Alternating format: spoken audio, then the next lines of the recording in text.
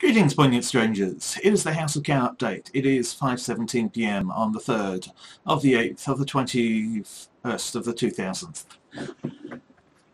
Oh hey! It is also Tuesday of week 2 and I have just completed my second class of the week. Uh, so it's the second week of semester. We have just had a really good run and just wanted to you know, pass comment for a second because I've I think that there is a lot to be said for not going on a Monday anymore. Uh, there's a bunch of so my students in the day class are super keen and enthusiastic. There's still a it's early in the season, uh, and I'm trying not to compare the week 10 to 12 of last year with the weeks 1 to 3 of this year. Uh, people are picking up. They're starting to get comfortable with what is a completely unexpected um, dealing with me is a bit of a challenge. Um, the hyperkinetic rabbity thing that speaks really super fast when they're excited and definitely gets more excited as the ca caffeine kicks in and the session rolls on longer. But also, uh, things that I do in class that are genuinely not the same as my colleagues. Uh, I am very driven by audience feedback. If I ask, I want to know. I don't ask for the express purpose of going, ha ha, you may have wanted green, I shall give you purple. It's like, no. When I run a poll, and I run a poll for something like, well, as I did tonight, um, Zoom's got this function where I can push out the, I can share a slide into the Zoom rooms now. And I ran one session with slide and I ran one session without slide. And that was a moment of going, then at the end I ran a poll and said, which do you prefer, which do you want? And I got a result and the result is they do want the slides into the Zoom rooms. So from next week onwards, that's how it's going to go for the day class. For the day walkers, we'll get that. But I know there's always that sort of sense of suspicion of the, well, why are you asking? Uh, there's a lot of, there's been a lot of times then um, at ANU with uh, the students I've taught where there's a real defensiveness. They don't want to give you opinions. They don't want to tell you stuff. And it's kind of like they must have had a bad experience. They must have had a moment where someone's gone, so, tell me what you, tell me student, what do you think? You're wrong! No, no, that's, that's, one, that's not a nice thing to do to students. Two, that really doesn't encourage students to student. And three, uh, if you're the kind of person who's basically betraying, walking students into traps to betray them for that sort of purpose, then swift uppercut. Apply a swift uppercut to yourself. But, you know, I, I say this as someone who's been a rogue. I've done, I've set traps. I've, but I, also, I'm the rogue who goes and says, hey, there's a trap. I've set a trap. Hello, trap over here. Because I'm about as subtle as a brick to the forehead. Uh, but at the same time, like this is again one of the challenges I'm facing is I'm trying to get through an environment where there's a lot of uncertainty around. You know, I go and say, "Please give me feedback," and students like, "Not, not, not." Talking to lecturer, admitting weakness in front of lecturer is bad. So I, am dealing with some of that at the moment. But this is also why I've hired a tutor, so the tutor can, people can fail in front of the tutors and feel safe and not fail in front of me and feel safe. So it's the safety first, that's the protocol. Uh, the other super exciting, yeah, tonight on super exciting things, um, ANU released its corporate strategy for the next four years yesterday and released its uh, graduate outcomes this morning. So last night's class had the discussion about, hey, ANU's just got a strategy. You should totally check it out. This afternoon's class was, hey, there are graduate attributes that we're working towards now. You should totally check this out. Plus, you should see last night's strategy. Rolling in content from like three hours ago, rewriting a slide in the opening 10 minutes, like three minutes after the start of the show, you're still tinkering with the slide because you got your content, you want your content to be that up to date and fresh and you've seen a cool thing, you want to incorporate it.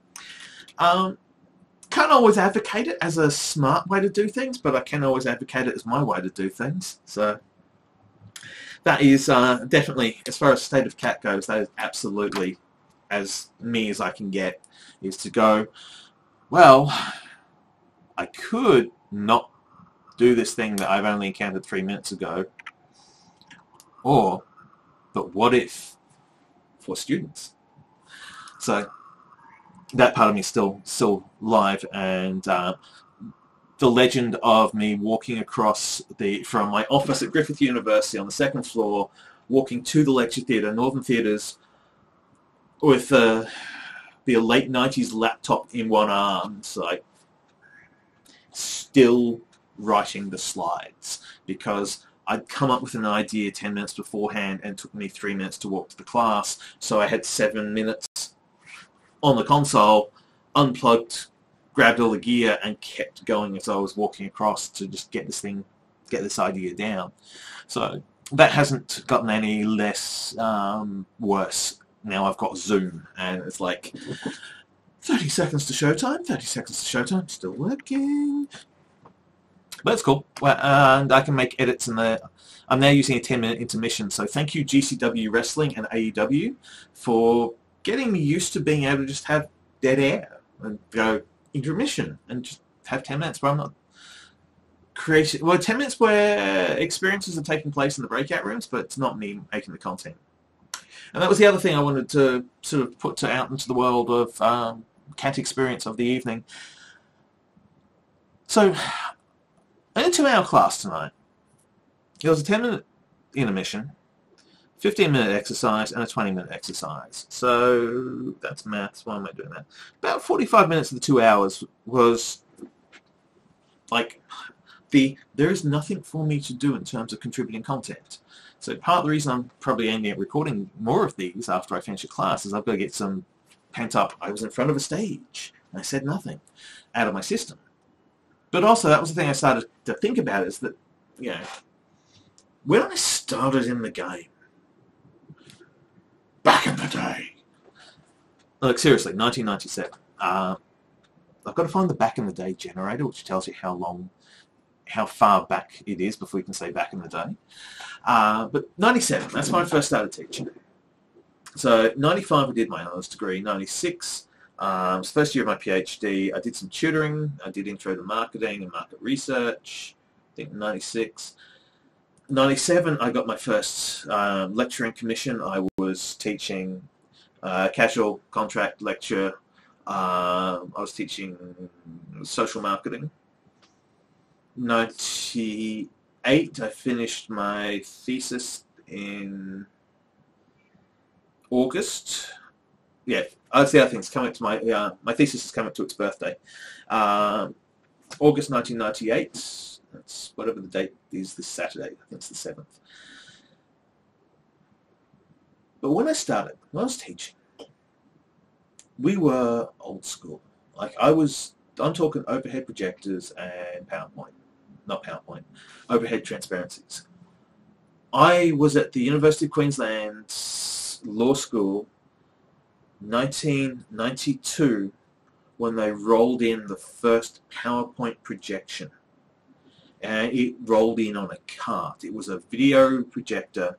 It had its own cart. God knows what size computer was underneath it.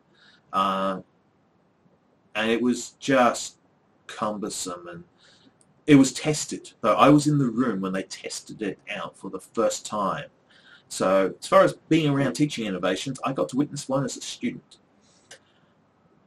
But still, we were old school. Uh, we were preachers. We stood at our lecterns. And we, you know, I have done fire and brimstone lectures where I have held the edge of the podium, claw grip on, and gone full preacher mode. Fire, the brimstone, the everything else. And that's gone. That's that is the old days. We're not going back to that. We're not going to have four. There is no reason to ever again put 400 undergraduate students into a room on a Friday night where there's two hours of me talking and no hours of them doing anything but listening. that world's gone. Um, I don't. I think it's good. It's gone. I miss it. I absolutely loved that moment. I that times where uh, Griffith University Northern Theatre One, where I was pushing as far and as hard past the envelope as I could, where I delivered a course in advertising. I started the lecture sitting in the back row. I delivered the lecture because I had, we finally got a remote wireless mouse. So I don't know if we had that or I was just how I was doing it. But I was lecturing from different points in the theatre. I would, rather than stand at the podium, I was bouncing about across the seats. I was, I was doing it different. And because it was part of the, that night's course content was to connect the idea of the creativity, to break the expected, to change the mold, but also to say, there is discomfort in what we're doing. There is, this is an uncomfortable thing for you to experience. Would you be happier if I was down the front behind the lectern? And the student's like, hell yes, we would. Yeah. And then I get down there and be like, okay, but why, how do we, what, let's, let's talk about this. Let's, let's go, um, understand what's just happened here. And tonight in the marketing, I got my students to play with the Neo NeoCities site and I got them to play with the Wix site, but I got them to be uncomfortable. And when they talked about this stuff at the end, they talked about compatibility. They used they didn't use the words of the Rogers 95, which is basically apparently my life this year is going to be the Rogers 1995 traits of innovation model, which is cool because that was what my thesis was about and embedded. But they talked about how this wasn't compatible. They they didn't know code, so they didn't have a reason to find NeoCities to be pleasing. Um, they felt Wix was much nicer because it made more sense because it was uh, aesthetic and movement. It wasn't about building the code. It was about assembling the parts, which was totally awesome. Um, I'm down for this. I think this is great. I think this is about saying I don't need to carve the Lego from scratch. I want to build the model with the pieces. I don't have to print my own Lego in order to enjoy building Lego. So totally down for this. Uh, and yeah, it's been really interesting with this semester, just getting the students, we're two weeks in, with four events, two sessions each. We've got the tutorials kicking off on Thursday. Forum traffic isn't quite there yet. Forum traffic is beginning to pick up, but getting, knowing, knowing that what I'm needing is I'm needing my opinion leaders. They're starting to emerge, and I'm needing my people who go first to say to let the others know it's okay to go and have a go at this. And this year, this cohort, they were never going to be last year's cohort last year I brought, I got the innovators, I got my crew. Uh, the people I ran with last year would be the kind of, uh, you know, if I was captaining a crew of ensigns out on a star ship somewhere, that would be the crew I'd want. The volunteers who stuck their hand up and said, hey, we want to go with the we want to go do the thing that hasn't been done in a subject that hasn't been run. We want to go first. I mean, let's do this. So they're a good crew. I think they're going to. Uh, we will get there. Uh, I'm really starting. I'm feeling really good about this semester. Uh, even if it just tanks and goes pear-shaped, I've done a lot of things I wanted to, to try, and I'm getting to push in areas and directions around technology that I wanted to explore and I'm trying things out to see how they go and getting and I know that I'm overwhelming and I know that I'm terrifying and I know that there are going to be people who are going to go this is the worst experience of my life whilst they're experiencing it. And a few years later we'll come back and go you know that was quite that, I, I learned a lot from that particularly uh, e-marketing, the biggest challenge I face is that I'm making people do things. I'm making people create projects. I'm making the theory into the practice. I'm putting that reality hard, that hard, unyielding reality. I'm handing them off the hardware and saying, let's go break that. Let's go play with that. But if you're doing it, if you're skimming this at the surface, all you're going to see is like, oh, it's pointless. I, I, he only covered the basics. It's like, I said, here are the fundamentals. Go use them. Go turn that fundamental, I know a bit about marketing. I know the marketing mix. Okay, prove it. Create me a product. Price that product. All right. You got those two down. Where are you going to put it? How are you getting it to your audience? Who is your audience? Tell me about your audience. What's your market segmentation look like? Getting people to act on the theories that they're otherwise writing assignments about and writing essays about. That's what this subject is. That's like that's part of its terror. That's part of its sheer, oh my God, what am I doing? But it's not there to it's there because I want to give people a chance to test drive, to do things safely, to have an environment where they can go call for backup, and the backup is the giant tank cat that is me in my full academic mode, to come in going, all right, what are we, what are we trying to achieve? All right, this is what I can do to help you, and this is, here's some support material, here's some guidance, and also, you know, here's me telling you what you did right and how it's worked. So the last thing I want to say is, uh, I think I'm working on this season. Like I've got a goal for myself in my teaching is I'm trying to change uh, a bit of language I use. And it's the what went wrong to what could have been done differently. And it kind of went wrong tonight in the old sense. Um, I didn't clarify, and it, if I was to rerun tonight's show, I would have done the first exercise differently. Uh, I didn't clarify a task, and I didn't make it. I realized, and uh, it's probably on video. I had a moment of absolute. I can't replicate the facial expression. I had a moment of realizing that I didn't include an instruction that I usually include. Now I've run this exercise four times as of tonight, so when I say usually include, the last three times I did this exercise, I put this instruction in, and I had this moment of going, I didn't say the word. And we get back and we do the debrief, and the students told me about that.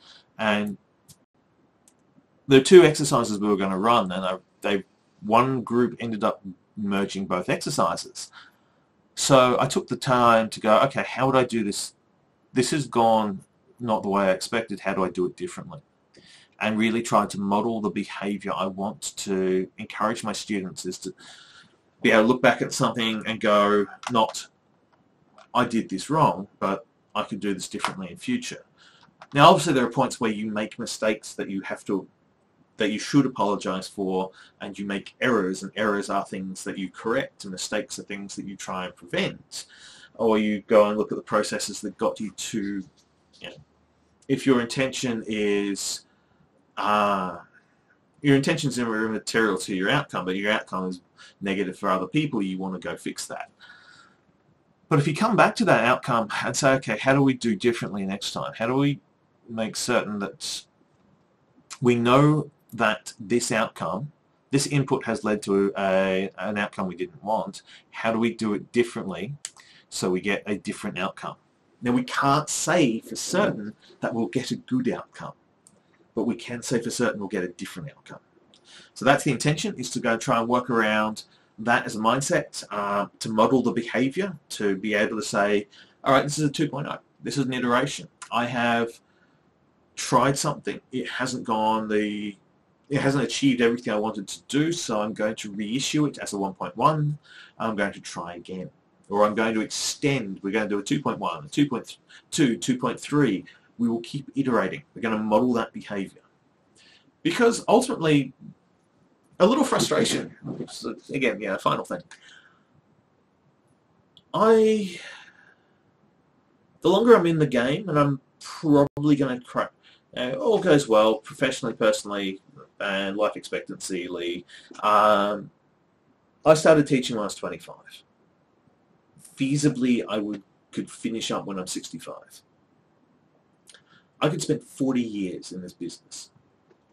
And in that 40 year period, things have changed and things will change and things will be different. Well, one of the things we're kind of losing and I'm desperately trying to hang on to and figure out how to do is how to give people the opportunity to go make a mistake and come back from it. And I don't fully, I haven't developed that to its fullest potential yet. I haven't got it right um, because it's an evolutionary thing. It's also creating against the culture of the time where everything is tracked. And I was looking at this YouTube video of me talking about Moodle, um, training people to use Moodle and saying, for God's sake, stop running analytics on the help function. Uh, don't let us know that you're tracking us when we go hit F1 to find out how to know more. Don't let us know. If you must track to find out what needs to be improved, for God's sake, don't tell us that you're tracking us making mistakes. Don't tell us that you're monitoring our every behavior because we'll Hawthorne the hell out of ourselves. Uh, but it also means that we won't explore. We won't take a risk if we think it's going to go on our permanent records. Okay, most other people won't take a risk if they think it will go on their permanent records. Dumbass here will and does, and frequently, and is currently, doing things full in the knowledge that it's on its permanent record, and whoop-dee. So, my view is, at the end of the day, if there is a permanent record of all the dumb things I've done, all the things I've tried out, all the rules I've broken, every rule that they've had to introduce to counter me, awesome! Someone documented hell. Someone documented my life, and you know I'm fabulous. So, yeah, that is the state of the cat. Uh, it has been two days into week two. It's been a really good run. Uh, really pleased with how it's come out this evening, and lots of thinky things. Um, I'm trying to, again, the thing I'm trying to practice is if I start by doing these videos, I start by talking out the things, then maybe I'll get better at writing the things, and maybe I'll get better at sort of, I'm crap at reflection, and I don't like it, and I don't, but I'm, correction. I was never trained to do it well. I'm teaching, I'm trying to teach myself to do it better. It is a thing that I want to do differently.